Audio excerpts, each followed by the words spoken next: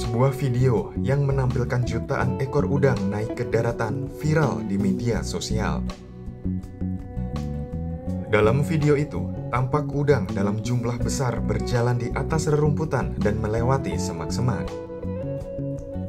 Adapun peristiwa tersebut terjadi di Desa Buladu, Gorontalo Utara pada Kamis 25 Mei 2023.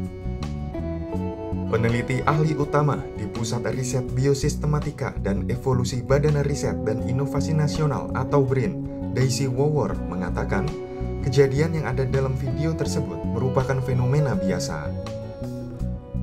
Menurutnya, udang-udang itu kemungkinan jenis udang air tawar yang berkembang biak di laut atau muara sungai Payau.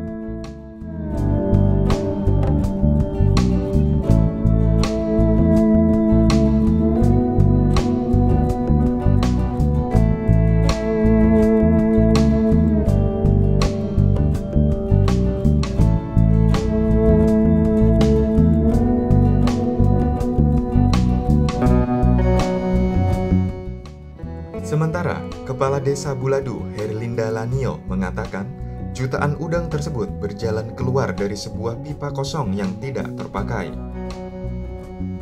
Kemudian udang bergerak menuju rembesan pipa program penyediaan air minum dan sanitasi berbasis masyarakat atau PAMSIMAS yang dikelola warga.